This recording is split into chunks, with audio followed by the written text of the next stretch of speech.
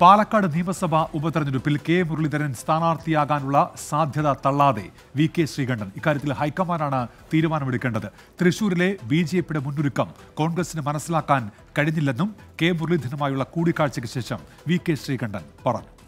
സാധ്യതയൊന്നും തള്ളിക്കളയാൻ കഴിയില്ല. കാരണം കേരളത്തിൽ കോൺഗ്രസ് പാർട്ടി ആരെ എവിടെ തീരുമാനിക്കുന്നു എന്നുള്ളത് ഹൈക്കമാൻഡും കൂടി മുതിർന്ന നേതാക്കന്മാരുടെയും അഭിപ്രായം കൂടെ കണക്കിലെടുത്തായിരിക്കും.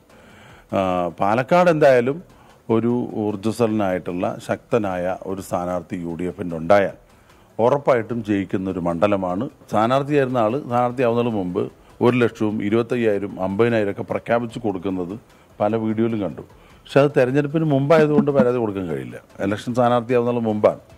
അപ്പം അങ്ങനെ സംഘടിതമായൊരു ശ്രമം ഒരു ബാധ നടക്കുമ്പോൾ അതിന് പൂർണമായിട്ട് മനസ്സിലാക്കാൻ കഴിയാതെ പോയതും ഒരു തിരിച്ചടിയാകാനുള്ള സാധ്യതയുണ്ട്.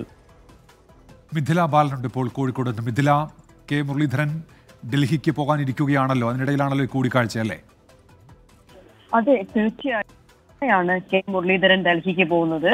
അവിടെ എത്തിയതിനു ശേഷം മുതിർന്ന കോൺഗ്രസ് ദേശീയ നേതാക്കളെ എല്ലാം കാണും അതിനു മുൻപാണ് ഇപ്പോൾ തൃശൂർ ഡി സി സിയുടെ ചുമതല കൂടി വഹിക്കുന്ന V K Sreekandan M P.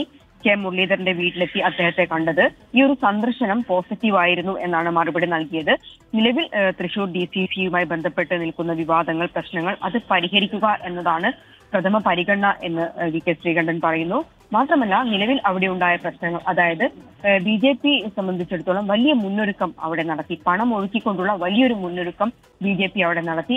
അത് മുൻകൂട്ടി കാണാൻ കോൺഗ്രസിന് കഴിഞ്ഞില്ല. അത് ചെറിയൊരു തരത്തിലുള്ള ഒരു വീഴ്ച അല്ലെങ്കിൽ അത്തരത്തിലുള്ള ഒരു വീഴ്ച കോൺഗ്രസിന്റെ ഭാഗത്തും തൃശ്ശൂരിൽ ഉണ്ടായിട്ടുണ്ട്. അതുൾപ്പെടെയുള്ള കാര്യങ്ങൾ വിലയിരുത്തി വളരെ പോസിറ്റീവായ ഒരു ചർച്ചയാണ് കെ മുരളീധരുമായി ഉണ്ടായത് എന്നാണ് അല്പസമയം മുമ്പ് അദ്ദേഹം പ്രതികരിച്ചത്. ശരി മിഥില. മിഥില ബാലനാണ് വിവരങ്ങൾ നൽകിയത് കോഴിക്കോട്